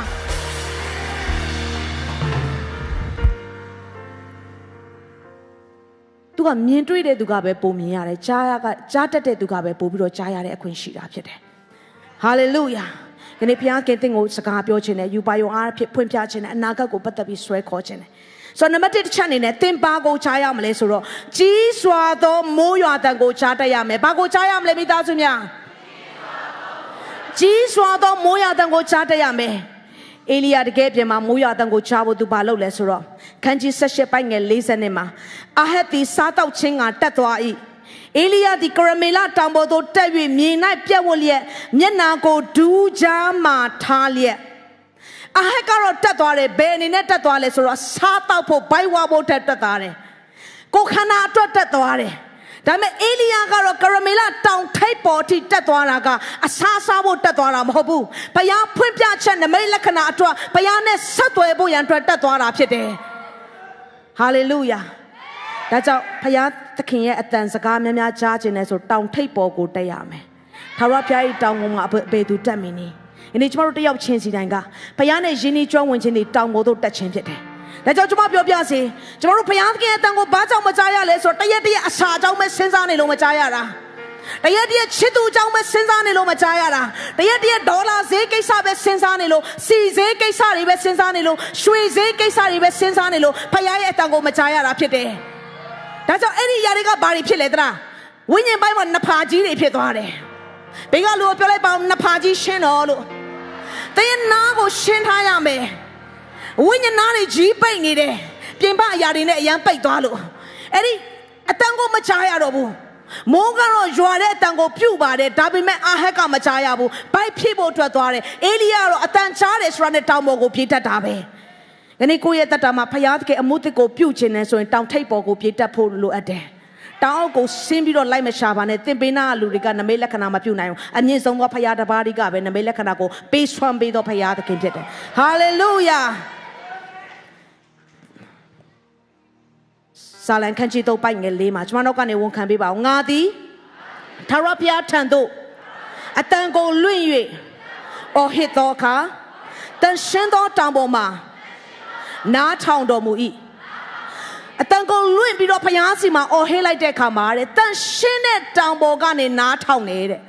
ဒါဆိုအေလိယဒီတောင်ထိပ်ကိုတက်သွားတာကဘုရားဒီဘမှာရှိလို့လဲတောင်ထိပ်မှာရှိနေတာတောင်ထိပ်မှာရှိတဲ့ဖယားနဲ့ဆက်သွယ်ဖို့ရန်အတွက်တက်သွားတာဖြစ်တယ်။ဒါဆိုမိသားစုများတောင်ပေါ်တက်ချင်းဆိုတဲ့ရကဘာကိုကိုစားပြုလဲဆိုတော့ဖယားသခင်နဲ့ယင်းဤကျွမ်းဝင်ခြင်းကိုကိုစားပြုတယ်။ အတန်ချားဖို့ရန်အတွက်ရှင်းလင်းဖို့ရန်အတွက်တောင်ထိပ်ကိုတက်လေလေပို့ပြီးတော့ရှင်းလင်းစွာကြားရလေဖြစ်တယ်။ကရမေလတောင်ဆိုတဲ့အတိတ်ဘက်ကဘာလဲဆိုတော့သာရဖျားရဲ့ဥယျာဉ်တော်လို့အတိတ်ပဲရတယ်။တနည်းအားဖြင့်ကရမေလတောင်ရဲ့အထိပ်ပဲဒီပေါ်များချင်းကြွယ်ဝခြင်းတွေကိုပုံဆောင်နေတယ်။ကျွန်မပြောပြစီတောင်ထိပ်မှာအရာခတ်တဲ့အလုံးစုံတို့ရဲ့အဖြစ်ရှိနေတယ်။ဘုရားရဲ့မျက်မှောက်တော်တည်းဟူသောအဲ့ဒီတောင်ထိပ်မှာသင်လိုသမျှအရာသင်တောင်းတသောအရာအကုန်လုံးရှိနေတယ်။ကာယပိုင်းသမကဝိညာဉ်ပိုင်းဆိုင်ရာမှာကောင်းချီးမင်္ဂလာတဲ့အဲ့ဒီမှာရှံပဲပဲ။ ဒါဆိုရင်ဖယားနဲ့ချိတ်ဆက်တဲ့သူကသူတို့ဘာမချားနိုင်တဲ့အရာသူတို့ဘာမတွေ့နိုင်တဲ့အရာသူတို့ဘာမသိနိုင်တဲ့အရာတွေကိုသိနိုင်စွမ်းမှရှိနေတယ်။အနေဝိညာဉ်ပိုင်းဆိုင်ရာမှာသူတို့ဘာမကြားနိုင်တဲ့အရာတွေကိုကြားသိခြင်းလားသူတို့ဘာမတွေ့နိုင်တဲ့အရာတွေကိုမြင်ခြင်းလားတောင်မော်တက်တောင်မော်တက်စမယေကျွန်တော်တို့ဆုတောင်းပေးပါဦးကျွန်တော်ဖရားစကားပါအဆင့်ခံတဲ့ဖရားသွားခြင်းတာမဟုတ်တိုက်ရိုက်စကားပြောခြင်းနေတာ ကျွန်တော်တို့တယောက်ချင်းစီတိုင်းမှာဖရားကျမတို့ကိုစကားပြောခြင်းတိုက်ရိုက်ကိုပြောခြင်းနဲ့တိုက်ရိုက်ကိုဖရားတင်တင်တဲ့အတွေ့ခံခြင်းနေတယ်ဒါကြောင့်ကျွန်မပြောပြစီတင်တဲ့ဖယားမျက်မှောက်တော်ထဲမှာမစုံတာဘယ်လောက်တောင်ကြာသွားပြီလဲမျက်မှောက်တော်ထဲမှာဖယားတင်ကိုမဖွင့်ပြတာဘယ်လောက်တောင်ကြာခဲ့ပြီလဲမျက်မှောက်တော်ထဲမှာငါရဲ့သားငါရဲ့သမီးအရင်လိုငါ့ကိုချစ်တဲ့စိတ်ဝိညာဉ်နဲ့နှလုံးသားအပြည့်နဲ့ပြန်မလာတော့တာဘယ်လောက်တောင်ကြာသွားပြီလဲဖယားရဲ့တောင်ပေါ်ကိုတက်ဖို့ရန်အတွက်လိုအပ်တယ်အေလိယဘာလုပ်လဲဆိုတော့ ကရမေလာတောင်ထိတ်လဲရောက်တဲ့အခါမှာကျေးဇူးပြတစ်ချက်လောက်လာခဲ့ပေးပါအန်ဒရူးတစ်ချက်လောက်ခဲ့ပေးပါအေလိယဘာလုပ်လဲဆိုတော့အငယ်40နဲ့မှာခဏတမနေပေးပါမြေ၌ပြက်ဝတ်လျက်တဲ့မျက်နာကိုဒူးကြားမှာထားလျက်တဲ့ဟုတ်ပြီထိုင်လိုက်ပါစောင်းကြောင်းထိုင်လိုက်မျက်နာကိုဒူးကြားမှာထားလိုက်အဲဟုတ်တယ်မျက်နာကိုသူကအဲ့လိုလာထားတာလေစံစာထဲမှာမျက်နာကိုဒူးကြားမှာငုတ်အောင်ငုတ်အောင်အေလိယအေလိယဘယ်လိုလုပ်လဲ မြေ၌ပြက်ဝတ်လျက်မျက်နာငုတ်ဟုတ်ပြီငုတ်ထားဒူးကြားမှာထားအေလိယလောက်အကျုံးမပြောဘူးသူကနလောက်အဲ့တိုင်းနေပေးပါဟုတ်ပြီဂျေစုအများကြီးတင်တယ်ဩဂျေစုရမ်းတင်တယ်ဩ by the way သူကမကြမီရှေ့လောက်မှာမင်္ဂလာဆောင်တော့မဲ့သူနော်ယာရုတက်တော့မယ်နံပါတ်ရှိတယ်နော်ဟုတ်ပြီဒါနဲ့ဒီနေ့ကတော့တကယ်နေပဲဟေ့ဆိုညနာကိုဒူးချားမှထားတယ်တဲ့ ထားကြည့်ပါဦးမျက်နာကိုတင်းရဲ့မျက်နာကဒူးကောင်းကြားမှာရောက်တယ်ဆိုရင်တင်တခြားသူတွေကိုမြင်နိုင်မလားမမြင်ရတော့ဘူးဘာကိုပြောတာလဲသလားယုံကြည်ခြင်းကလည်းမျက်ကန်းလိုပဲမမြင်သေးတဲ့အရာတွေကိုသိမှတ်ဆွဲလဲလာအချင်းတွေကိုကြည့်ရင်တော့နေပူကျဲတောက်ကြီးဖြစ်နေမှာအေလိယဒါပေမဲ့အဲ့ဒီနေပူတဲ့အရာတွေကိုမကြည့်တော့ဘဲနဲ့တခါတည်းမျက်နာကိုဒူးချားမှာ သူတော်မှဒူးဒူးပေါ်ဖြစ်နေတာဒူးချားမှာထားတာပြင်ပအခြေအနေကိုကြည့်ရင်တော့ယုံကြည်ခြင်းမျက်စိကမ်းမယ်ဒါပေမဲ့ပြင်ပအခြေအနေကိုမိတ်လိုက်တဲ့အခါမှာယုံကြည်ခြင်းမျက်စိမြင်လာတယ်ဟာလေလုယာဖြစ်ပြနေတဲ့ပဝင်းကျင်ကိုအေလိယကသူကခဏလောက်နေပါဦးပဝင်းကျင်ကိုကြည့်ပြီးကိုရိုရီလောက်ပါအောင်ကိုရိုရီလောက်ပါအောင်မလုပ်ဘူးယုံကြည်ခြင်းမျက်စိကန်းသွားမှာအပြင်ကိုပဲကြည့်နေအများရင်ခေါင်းကိုဝက်ချပလိုက်တယ် ယုံကြည်ခြင်းမျက်စိမြင်လာတယ်ပြင်ပဟာတွေမမြင်တော့ဘူးအထဲမှာဖျားဖွင့်ပြတဲ့အရာတွေကိုပဲမြင်ရတော့တယ်အနေကျမတို့ဘဝတက်တာထဲမှာကိုယ့်ရဲ့ခေါင်းကိုဝတ်ပြီးတော့အမြင်တွေကိုပိတ်ပြီးတော့အချားတွေကိုဖွင့်ဖို့ရန်အတွက်ဖြစ်တယ်အေလိယအချားကိုဖွင့်ထားတဲ့အမြင်တွေအားလုံးကဒူးချားမှရောက်သွားပြီဖွင့်ထားတာဖွင့်ထားတာခဏဖျားဖွင့်ကြတဲ့အရာတွေကိုသင်ကြားခြင်းနဲ့ဆိုရင်ပတ်ဝန်းကျင်မှာမြင်ရတဲ့သင်အမြင်တွေအားလုံးကိုပိတ်ပြီးတော့အဲ့ဒီမျက်မှောက်တော်ထဲမှာ ဒီဟာကတဲတော်အတွင်းဆုံးခန်းသူ့အတွက်ဖြစ်နေတာဖျားနဲ့ချိန်နေတာကြီးလိုက်ရင်တော့တောင်ပေါ်မှာထီထီကြီးဟိုဘက်ကတောင်တွေကဣတလတောင်တွေကဒီလိုမျိုးအပင်အိုးဆိုင်ဆိုင်နဲ့ကျမတို့ဟိုဗာလဲ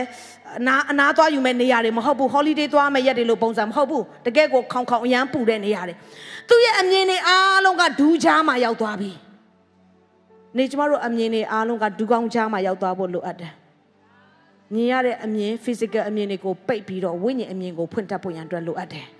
နောက်အေလိယမျက်နှာကိုဒူးချားမှာဘာကြောက်ထားလဲဆိုတော့ဓမ္မဟောင်းကာလမှာပြန်ကြည့်တဲ့အခါမှာအမျိုးသမီးတွေကလေးမွေးတော့မယ်ဆိုရင်သူတို့ကခွဲပေးမဲ့သူမရှိဘူးဆိုတော့ဘာလို့ ਆ လဲဆိုကလေးမွေးတော့မဲ့အမျိုးသမီးကအဲ့လိုမျိုးကိုခန္ဓာကိုကိုင်းပြီးတော့နေရတာဒီလိုမျိုးနေရတယ်ဒီလိုပုံစံတော့အားဆိုင်ပြီးတော့ညှစ်ရတယ်အားဆိုင်ပြီးညှစ်မှသာလဲ ဒီကလေးကထွက်တာဆိုတော့အေလိယသည်မဖြစ်သေးတဲ့အရာတွေကိုအแทမှာယုံကြည်ခြင်းနဲ့ကိုယ်ဝင်ဆောင်ပြီးတော့အားဆိုင်ပြီးညှစ်ထုံနေတာဟာလေလုယာ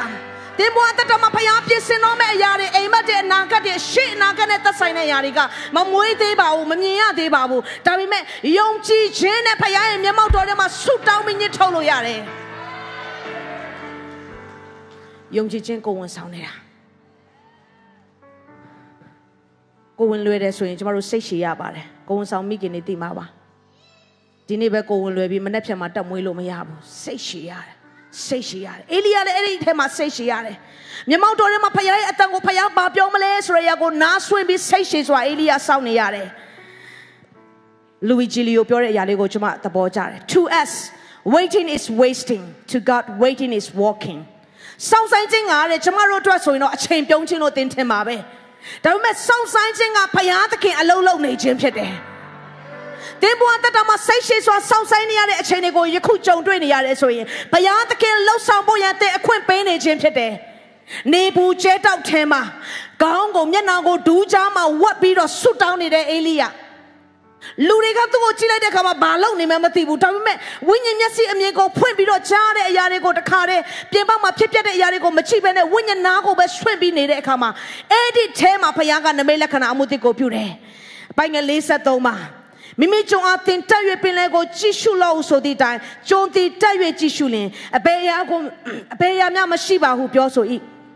အေလိယာကခုနှစ်ချိန်တိုင်အောင်သွား၍ကြည့်ရှုအောင်လို့ဆို၏အေလိယာဆောင်းနေတာ 6ချိန်ထိသွားကြည့်တာဘာမှမဖြစ်ဘူး6ချိန်ထိသွားကြည့်တဲ့အခါမှာဘာမှမထူးကြဘူးအနည်းမိသားစုများ6ချိန်ဒီတင်ဘဝမှာဘာမှမဖြစ်သေးတဲ့အရာတွေရှိကောင်းရှိပါလိမ့်မယ်ကိုရိုနာမေလက္ခဏာပြုပါပြန်သွားတယ်ဘာမှမဖြစ်လာသေးဘူးကိုရိုနမိတ်လက္ခဏာပြုတ်ဘာမှဖြစ်မလာသေးဘူးဒါပေမဲ့အေလိယက6ချိန်မှာထထွက်သွားမဲ့သူမဟုတ်ဘူးဆက်ပြီးတော့စောင့်အောင်မဲ့သူဖြစ်တယ်။အနေကျမတို့တယောက်ချင်းစီတိုင်းကလည်းဘုရားသခင်နမိတ်လက္ခဏာအမှုတစ်ကိုပြုပါလို့ပြောပြီးဆိုရင်6ချိန်နဲ့မထွက်သွားနဲ့။ တချို့သောသူတွေအလုတ်ထဲမှာကိုရောနမိတ်လက္ခဏာပြုပါလုပ်ငန်းထဲမှာကျွန်တော်ကိုမကျေနပ်တဲ့သူရှိတယ်6ချိန်တော့မစဘူး तू ကအလုတ်ထွက်သွားတယ်။ဟိုကတင်းနဲ့တင်းတင်ပုံရန်အတွက်ပြန်လှုပ်ချင်နေတာဖခင်ကမဆောင်နိုင်တော့ဘူး။ तू ကိုရောကိုရောမထွက်ရင်ကျမထွက်တော့မယ်ဆိုပြီးထွက်သွားတာကိုရောမလုပ်ရင်ကျမပဲလှုပ်လိုက်တော့မယ်ဆိုပြီးထွက်သွားတာစိတ်ရှည်စွာဖခင်ရဲ့မျက်မှောက်တော်ထဲမှာစောင့်ဆိုင်တတ်ဖို့ရန်အတွက်လိုအပ်တယ်ဇာဂျီတိုနီအီဗန်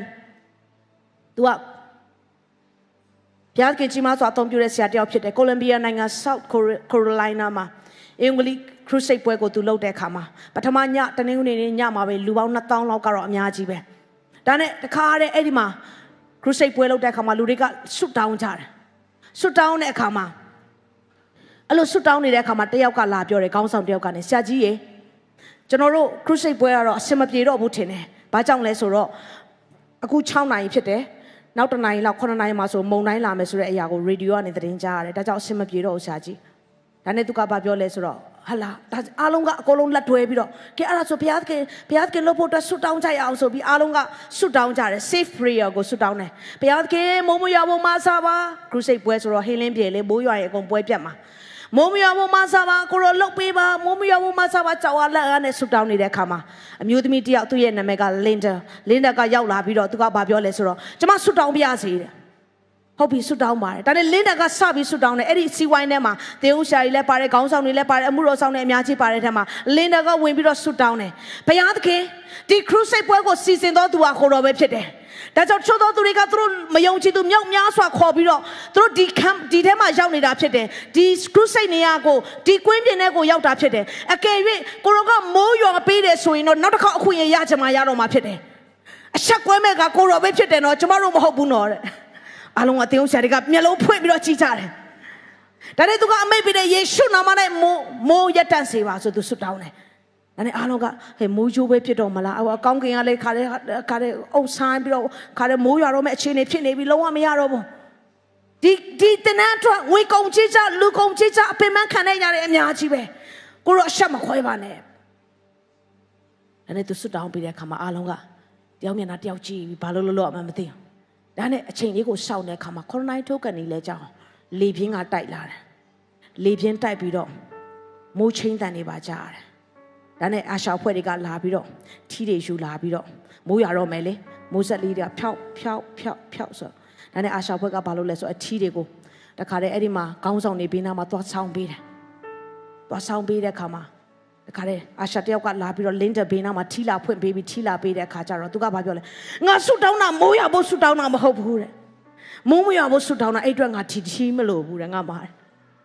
တခါတည်းကျကျမတို့ကယုံကြည်ခြင်းပါလေတော့ဆုတောင်းတယ်ဘေးကထီလိုက်ရှာတတ်တယ်ထီမလို့ဘူးတဲ့ဒါလည်းလင်းတကဆုတောင်းတယ်ဆုတောင်းတယ်ဆုတောင်းတယ်ဆုတောင်းတယ်ခေါနိုင်မိနစ်20လောက်လဲကြာအတန်တခုကြားတယ်အဲ့ဒါဘာလဲဆိုတော့မုံတိုင်းကလာတယ်ဒါပေမဲ့အဲ့ဒီနေရာကို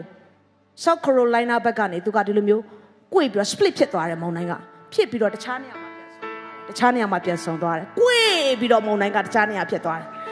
ဘုရားသခင်တဆွမ်းသောဘုရားသခင်ဖြစ်တယ် hallelujah 6ချိန်သွားကြည့်ပြီးရက်တက်မဲ့ထဲမှာလင်းတယ်မပါဘူး6ချိန်သွားကြည့်ခိုင်းပြီးတော့ငြိမ်နေမဲ့ထဲမှာအေလိယမပါဘူး6ချိန်သွားကြည့်ပြီးငြိမ်နေမဲ့ထဲမှာသင်လည်းမပါဘူး hallelujah hallelujah ကျွန်မစဉ်းစားတယ် prophet Elia ကိုယ်တိုင်သွားကြည့်ပါလားဘာကြောင့်သူများကိုသွားခိုင်းတာလဲကျွန်မပြောပြစီအေလိယရဲ့အမြင်တွေအားလုံးကအဲ့ဒူကြထဲမှာရောက်သွားပြီမဖြစ်နိုင်တဲ့အခြေအနေကိုကြုံတွေ့တယ်ဆိုရင်တင်းရဲ့ဒူကောင်းကမျက်မှောက်တော်တဲ့တိုးဝင်ဖို့လက်နက်ပဲဖြစ်တယ်ဒါကြောင့်ကျွန်တော်တို့ရဲ့ပြဿနာဖြေရှင်းတဲ့နီလန်းကခေါင်းကလာတာမဟုတ်ဘူးဒူးကလာတာဖြစ်တယ်ဝန်ခံပေးပါအောင်ကျွန်တော်ရဲ့ပြဿနာဖြေရှင်းတဲ့နီလန်းက ဦးကောင်းကလာတာမဟုတ်ဘူးဒူးကောင်းကလာတာဖြစ်တယ်ဟာလေလုယာတရှင်တဲ့ဘုရားကိုလက်ခုပ်တီးပြီးဂုဏ်ပြုအောင်ယေရှုတင်ပါတယ်မျက်မှောက်တော်ထဲမှာဒူးထောက်ခြင်းပဲအဲ့ဒါပြဿနာရဲ့အရင်းမြစ်ပဲပြဿနာဖြစ်တိုင်းမှာဦးကောင်းကနေစပြီးဖြေရှင်းတဲ့သူများဒီနေ့ပြောပြစေဒူးကောင်းကနေစဖြေရှင်းမှာဘေးကလို့ပြောလိုက်ပါဦးကောင်းကမလာနဲ့ဒူးကောင်းကလာလို့ မျက်မှောက်တော်ထဲမှာဒူးထောက်ပြီးတော့ဘုရားရဲ့အတန်ကိုချားတက်ဖို့ရန်အတွက်ဖြစ်တယ်။အေလိယတောင်ပေါ်ဒီဟူသောမျက်မှောက်တော်ထဲမှာတိုးဝင်ပြီးစောင့်ဆိုင်တဲ့အခါမှာကြီးမားတဲ့နမိတ်လက္ခဏာဖြစ်တယ်။ခုနှစ်ချိန်မြောက်မှာသွားကြည့်တဲ့အခါမှာသူရဲ့တပည့်ကသွားကြည့်တဲ့အခါမှာလက်သီးတဆုပ်စာမိုးတိမ်ကိုတွေ့ရတယ်။ပြောကြည့်ပါဦးဘလောက်လဲလက်သီးတဆုပ်စာဖြစ်တယ်။ဘယ်နှချိန်မှာသွားကြည့်တာလဲဆိုခုနှစ်ချိန်မြောက်မှာခုနှစ်ဆိုတဲ့အတိတ်ဘက်က fullness completeness ပြီးပြည့်စုံခြင်းလို့အတိတ်ပဲရတယ်။ ငနေ့သင်ဘဝအသက်တာမှာဒီချိန်မီဒီချိန်မဖြစ်လို့စိတ်မသင်စိတ်မရှင်မဖြစ်ပါနဲ့ဖယားခင်ကပြီးပြည့်စုံခြင်းရက်တဲ့ကိုသင်ကိုဆွဲခေါ်နေတာဖြစ်တယ်လူမြင်ကအေလိယကြည့်လိုက်တဲ့အခါမှာလက်တီတစ်ဆုပ်စာပဲအေလိယဘက်ကကြည့်တော့သူ့ရဲ့လက်တီတစ်ဆုပ်ဖယားကပြန်ကြည့်တော့ဖယားရဲ့လက်တီတစ်ဆုပ်ဖြစ်နေတာဘုရားကပြောတယ်ညီကြီးရတဲ့ငါရဲ့ချစ်တင်ခုံတဲ့ဘုရားရဲ့လက်တီးတဆုပ်ဆိုဘယ်တော့တော့ကြီးမလဲနော်ကရမီလာတောင်နဲ့မိုးဖြိုင်ဖြိုင်ရွာသွားတာပဲ ဆဆိုတော့ဖခင်ရဲ့လက်သီးတစ်ဆုပ်ဖြစ်နေတယ်။အနေသိရဲ့အချင်းတွေမှာတင်ကြည့်တဲ့အခါမှာဘလို့ဖြစ်နိုင်မှလဲငါရဲ့ငွေကြေးတွေဘလို့ဖြစ်နိုင်မှလဲငါရဲ့ယောဂါတွေဘလို့ဖြစ်နိုင်မှလဲငါရဲ့မိသားစုတွေပြိုကွဲနေတာလားအများကြီးမလို့ပါဘူးဖခင်ရဲ့လက်သီးတစ်ဆုပ်ပဲလို့တာအဲ့ဒီလက်သီးတစ်ဆုပ်ထဲမှာအရာခတ်သိမ်းရှိနေတယ်ဒါနဲ့အေလီယာကဘယင်အဟတ်ကိုအဟတ်ကိုမိုးရွာတော့မယ်တဲ့တအောက်ကိုပြေးဆင်းတော့တဲ့တခါတည်း အဟတ်ကမြင်းရထမြင်းရထလုံးအကောင်းဆုံးဘယင်ရဲ့ရထလုံးဆိုတော့အကောင်းဆုံးပဲဆိုတော့မြင်းကတကောင်ဝဲမဟုတ်ဘူးမြင်းများစွာနဲ့ပြေးဆွဲရတဲ့ရထလုံးဖြစ်တယ်တခါတည်းတောင်အောက်ကိုတောင်ပေါ်ကိုရထလုံးနဲ့တက်တာမဟုတ်နော်ပင်မန်းနေမှာဆိုလို့တောင်အောက်ကိုရထလုံးနဲ့ပြန်ဆင်းတာစံစံစံရီပုံစံမဟုတ်ဘူးစုံရီပုံစံပြန်ဆင်းရတာအေလိယဘာလုပ်လဲသိလားဝိယုံကိုအစကိုမလိုက်တယ်1 2 3ဆိုနဲ့ပြေးတာ ထွက်ပြေးတဲ့အခါရေစရီလာမြို့ကရမီလာတောင်ထိပ်ကနေရေစရေစရီလာမြို့ကို15မိုင်กว่าဝေးတယ်ဘသူရင်ရောက်လဲဆိုအေလိယရင်ရောက်သွားတာအသက်ကြီးကြီးအဖိုးကြီးအရင်ရောက်သွားရတလုံးနဲ့လိုက်တဲ့တခါတည်းဘယင်ကနောက်ကျကြံခဲ့နေတယ်ကျွန်မပြောပြစီမြေမောက်တော်ထဲမှာအရာခတ်သိမ်းရှိနေတာစွမ်းအားလိုချင်တာတကိုးလိုချင်တာခွန်အားလိုချင်တာတတိလိုချင်လားစုကျေးဇူးလိုချင်လားတဆွမ်းခြင်းလိုချင်လားမြေမောက်တော်ထဲမှာအရာခတ်သိမ်းရှိနေတယ် အဲ့တော့ Greenwich Sunshine မှာမတ်တန်းတင်မဲ့သူမရှိလို့ရှိတယ်ဆိုအေလိယပထမရနေမှာဘယ်သူမှသူ့လောက်ပြေးနိုင်မှာမဟုတ်ဘူးအခုတတိတောင်ဘယ်သူမှပြေးနိုင်မှာမဟုတ်ဘူးရတလုံးနဲ့ပြိုင်ပြေးတာအသက်ကြီးကြီးအဖိုးကြီးကပထမရသွားတယ်ကျွန်မပြောပြစေတင်းရဲ့ဘဝတတမှာမိုးရွာတန်ကိုကြားတတ်ရမယ်မိုးရတန်ဒီဟုသောဖခင်ရဲ့ဖွင့်ပြခြင်းမျက်မှောက်တော်ထဲမှာဝိညာဉ်တော်သုံးလောင်းခြင်းအတန်ကိုသင်ကြားတတ်ရမယ်။အဲဒီလိုကြားတတ်ဖို့ရန်အတွက်တောင်ပေါ်ဒီဟုသောမျက်မှောက်တော်ထဲမှာဖခင်နဲ့အချိန်ယူတတ်ဖို့ရန်အတွက်လိုအပ်ပါတယ်။ ဒါကြောင့်ဖခင်နဲ့အချိန်ယူတဲ့သူရဲ့အသက်တာထဲမှာဒုက္ခရောက်မှဖခင်ကသူနဲ့အတွေ့ခံတာမဟုတ်ပဲနဲ့သူပြောသမျှအရာအလုံးကိုဖခင်ကနားထောင်ပြီးဖခင်ပြောသမျှအရာအလုံးကိုလည်းသူကနားထောင်တတ်တဲ့သူဖြစ်လာတယ်။ဟာလေလုယာ။နောက်တစ်ဖြစ်ရဲ့ကိုကျွန်တော်တို့ကြည့်အောင်ယောရှုမတ်စာအခန်းကြီး6ပိုင်ငယ်9ဖြစ်တယ်။တွေ့မယ်ဆိုရင်ဒီလိုကဖတ်ချင်ပါတယ်ယူဘီလတဘိုးတို့ကိုရှေသောအတန်နှင့်မှုတ်၍ တဘိုးတန်ကိုကြားလေလူပေါင်းတို့သည်ခြေသောအတန်နှင့်ကြွေးကြော်၍မြို့ရိုးသည်အကုန်အစင်ပြိုလဲရလိမ့်မည်ထိုအခါလူများတို့သည်တဲတဲတက်ရကြမည်ဟုယောရှုအားမိန့်တော်မူ၏ယေရီခေါမြို့မှာရန်သူကအပိုင်ကြီးဆိုးထားတယ်ရန်သူ32မင်းကအပိုင်ဆိုးထားတယ် နော်အဲ့ဒီရန်သူ32မင်းလုံးကယေရီခေါမှာအခြေချပြီးတော့ခြေကုပ်ယူထားတယ်အခုယောရှုမျိုးဆက်ကဒီຢာကိုတိုက်ခတ်ရတော့မယ့်အချိန်မှာဘာလုပ်လဲဆိုတော့ယေရီခေါမြို့ကိုပတ်ဖို့ရန်အတွက်ဖျားခင်ကနေရာချတယ်ဘယ်လိုနေရာချလဲဆိုတော့အနောက်ဆုံးမှာဘသူကိုနေရာချလဲဆိုတော့တပ်သားတွေကိုနေရာချတယ်တပ်သားရဲ့အရှိမဗြိညင်တက်တာတော်ကိုနေရာချတယ်ဗြိညင်တက်တာတော်ရဲ့အရှိမယူဘီလတဘိုးကိုမုံမဲ့ယေဘရဟိ9ယောက်တဘိုး9လုံးနဲ့အတူရှိနေခြင်းကိုတက်ချတယ်အဲ့ဒီအရှိမတော့လက်နဲ့ဆောင်လူနေတွေကိုတက်ချတယ် မြင်မယ်လို့ယုံကြည်ပါတယ်နောက်ဆုံးမှဘာတူလဲတက်သားတွေကိုနေရာချတယ်သူရဲ့အရှင်မှာ brain ညင်တက်တာ brain ညင်တက်တာရဲ့အရှင်မှာယေဘရဟိ9ယောက်တဘိုး9လက်နဲ့ရှိနေမယ်သူရဲ့အရှင်မှာမှလက်နဲ့ဆောင်လူတွေနေဖြစ်တယ်ဆိုတော့ယေရီခေါမြို့ကိုပတ်ရမယ့်ပုံစံကအစာဖယားကမှာထားတယ်တရက်ကနေ6ရက်အထိကိုတစ်ချိန်စီပတ်ပြီးတော့9ရက်မြောက်နေ့မှာတော့9ချိန်ပတ်ရမယ်အဲ့ဒီလိုတရက်ကနေ6ရက်အထိပတ်နေတဲ့အခါမှာတကြိမ်စီပတ်နေတဲ့အခါမှာယူပီလာတဘိုး9လုံးကိုကင်ထားတဲ့ယေဘရဟိ9ယောက်က သူတို့ကအဲ့ဒီယူပလတဘိုးကိုကန်ယုံမန်းဖို့ပဲနဲ့တဘိုးကိုမှုတ်ရမယ်ဆိုပြီးဖခင်ကအမိန့်ပေးထားတယ်ဆိုယူပလတဘိုးတစ်ချက်လောက်ထိုးပြပေးပါအောင် ယူဘီလာတဘိုးဖြစ်တယ်ဆိုတော့ယူဘီလာတဘိုးရှိုဖာလို့လည်းခေါ်တယ် rams home လို့လည်းခေါ်တယ်သူကဘယ်ကနေလာလဲဆိုတော့တိုးတီးရဲ့ဂျိုကနေပြန်ပြီးတော့လောက်တာဖြစ်တယ်ဆိုတော့ယူဘီလာရဲ့ပုံစံချက်ကဘာလဲဆိုတော့ယူဘီလာရဲ့ပုံစံချက်ကအံ့ဩပွဲကောင်းလောက်အောင်ဖခင်ရဲ့ထောက်ပံ့ခြင်းအအောင်ပွဲကောင်းလောက်အောင်ဖခင်ရဲ့လွတ်မြောက်စေခြင်းဆိုတဲ့အတိတ်ပဲကိုပုံဆောင်ပါတယ်။ဒီနေ့သင်ရဲ့ဘဝအသက်တာမှာမနရဲ့ချုံနှောင်ခြင်းတွေကိုခံစားနေရပြီဆိုရင်တော့တဘိုးကိုမုတ်တတ်ဖို့ရန်အတွက်လိုအပ်တယ်။တဘိုးကိုမုတ်ခြင်းသည် သင်ရဲ့ဘဝထဲမှာမနဲ့ချုံနှောင်ထားတဲ့အရာတွေကြိုးတွေအားလုံးကိုဖြေချခြင်းကိုဖြစ်စေတယ်။ယေဘရဟိ9ယောက်တဘိုးမုတ်ချိန်နဲ့မုတ်တဲ့အခါမှာကြောက်အရင်သဘောကြတယ်။ကျန်တဲ့သူတွေကဘာလုပ်လဲဆိုတော့ယောရှုကပန်မာထားလဲဆိုအခန်းကြီး6ပိုင်းငယ်30မှာတွေ့ရင်အတူတူကဖျက်အောင်ယောရှုကလည်းသင်တို့ဒီကျွေးကြော်စေခြင်းကငါမှာထားသောနေ့မရောက်မီတွင်မကျွေးကြော်ရအတန်တစုံတစ်ခုကုန်မြမပြုရစကားတခုံးကုန်မြမပြောရထိုနေ့ရောက်မှကျွေးကြော်ရကြမည်ဟုလူများတို့အားမှားနှင့်လေပြီ ဆိုတော့တဘိုးတန်ကိုနားထောင်ပြီးတော့စကားမပြောခိုင်းဘူးဘာကြောင့်လဲအဲ့ဒီမှာရှိတဲ့သူတွေကစကားတဘိုးမုတ်နေတဲ့အချိန်စကားပြောမယ်ဆိုရင်ဘာကိုပြောမယ်ထင်တယ်အနုလက္ခဏာကိုပဲပြောမှာဖြစ်တယ်ယေရီခေါမြို့ကိုပတ်နေတယ်မြို့ရိုးကအကြီးကြီးပဲမြို့ရဲ့ပြက်ကတော့မှတလုံးကနှစ်စင်းလောက်ပြိုင်ပြီးတော့အချိန်နဲ့သွားလို့ရတဲ့အနေအထားဒုတွေကအဲ့လောက်ကြီးမားနေတာဆိုတော့သူတို့ကမြို့ကိုပတ်တဲ့အခါမှာတဘိုးမုတ်တဲ့သူကမုတ်နေတယ်ဒါပေမဲ့ကျန်တဲ့သူတွေကဗဇက်ပိတ်ပြီးလိုက်ရတယ် ကျမတို့ဆိုပြောမှာပဲကျမတို့ကအလုံးမရှိတာနေခဲ့လိုက်မယ်လေလို့ပြောမှာလေမဟုတ်ဘူးလိုက်ရမယ်အဲ့လိုလိုက်တဲ့အခါမှာစကားကမပြောခိုင်းဘူးဘာကြောင့်စကားမပြောခိုင်းနေသလားပြောရင်အနုလက္ခဏာတွေဖြစ်လာလိမ့်မယ်ပြင်ပရောက်သွားပြီစကားပြောရင်အနုလက္ခဏာဖြစ်လာမှာအဲ့လိုစကားပြောလို့မရတဲ့အခါမှာတခါတည်းဒီဘက်ကရန်သူကလည်းမျိုးရိုးပေါ်ကနေချိန်ထားတယ်အကုန်လုံးကအစင်တဲ့ဘယ်ချိန်သိမလဲမသိဘူးဒါနဲ့ကြောက်ကလည်းကြည့်တဲ့အခါမှာ တင်းတင်းငယ်ငယ်လေးတွေဖြစ်နေမှာရန်သူကလည်း32မင်းလေးဟိုမှာကျမကျမစဉ်းစားကြည့်တယ်ကျမမြင်အောင်ကြည့်တယ်တယောက်ကစကားပြောလို့မရဘူးဆိုရင်တော့ကျမတို့နီလန်းပဲသုံးပါပေါ့အမူအရာနဲ့ပြမှာလေอืมอืมอืมอืมอืมမမေးလိုက်တာကငါတို့ဘယ်လိုလုပ်ကြမလဲဟိုတယောက်ကကြားတဲ့အခါဘာကိုပြင်သွားလဲဆိုတော့ငါကိုထွက်ရဲထွက်ကြည့်လေလို့ပြောနေတယ်ထင်တယ်ဆိုอืมอืมငါမထွက်ပါဘူးอืมอืมဖြစ်နေတာအပေးယူတယ်အဲ့မှာအပေါင်းလက္ခဏာပြန်ဖြစ်သွားတယ် ပါဇက်နဲ့ပြောရင်အနုလက္ခဏာဖြစ်မှာ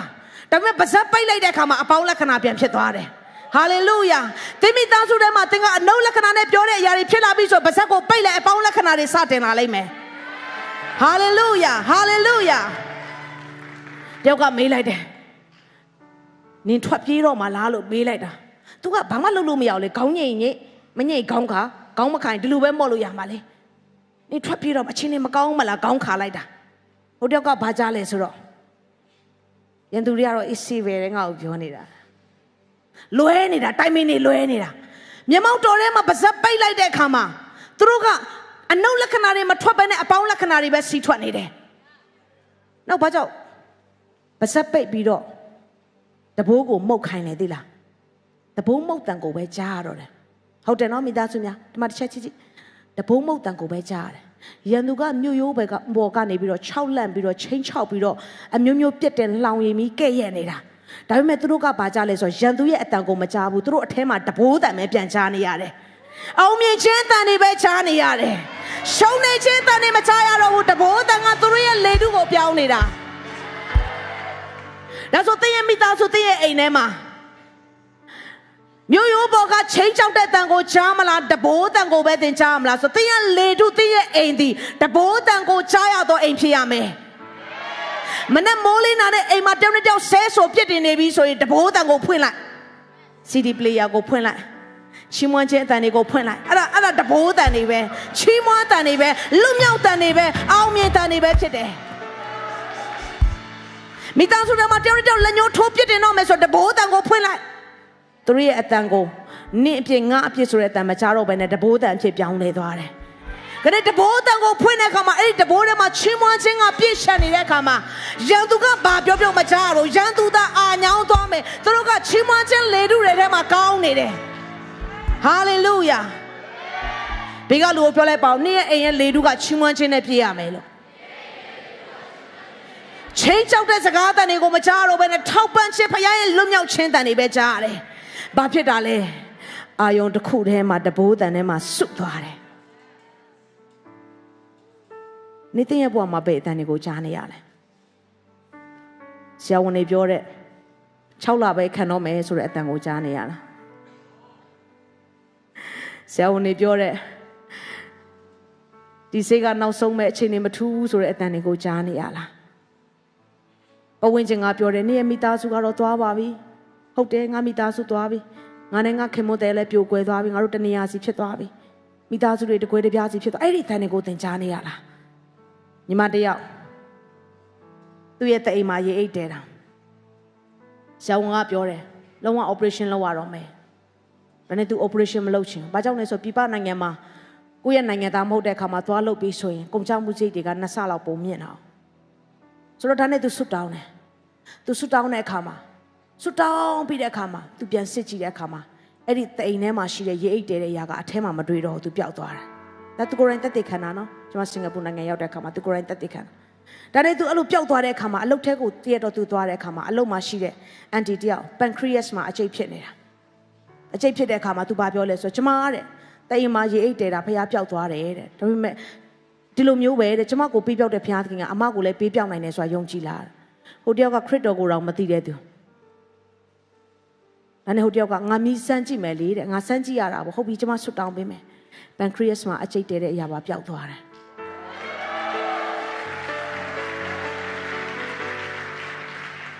ဒါနဲ့အဲ့ဒီဖြစ်ရက်ကိုသူက cell group မှာတက်တဲ့ခံတဲ့အခါမှာအဲ့ cell group ထဲမှာကျမအလည်းရှိနေတယ်ဒါနဲ့အဲ့ဒီတက်တဲ့ခံချက်ကိုချားတဲ့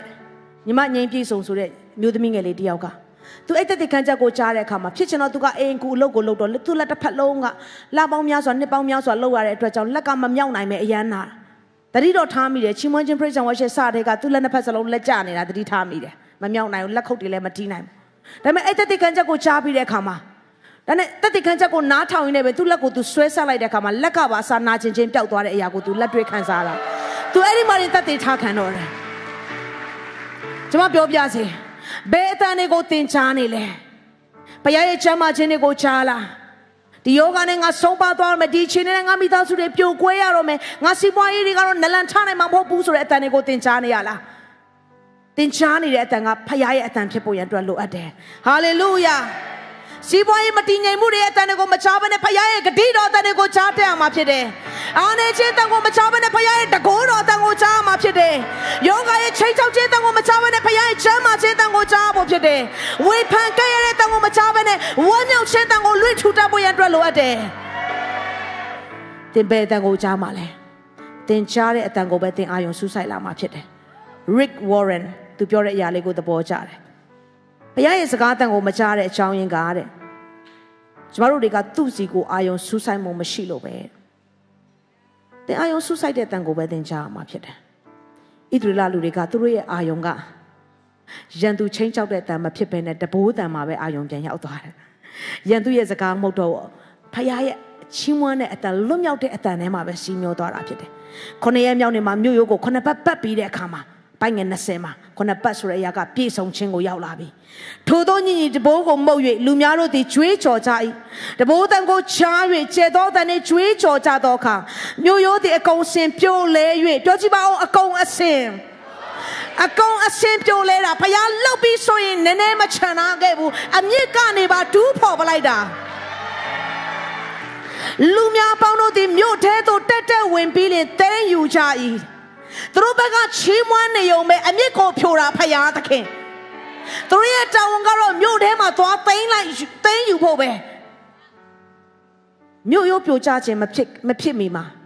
ကျမအရန်သဘောကျတယ်တဘိုးတန်ကိုကြား၍ကျဲသောအတန်နဲ့ကျဲသောအတန်နဲ့ကြွေးကြော်တယ်မိသားစုများဒုတိယတစ်ချက်အနေနဲ့သင်တဘိုးတန်ကိုကြားရမှာ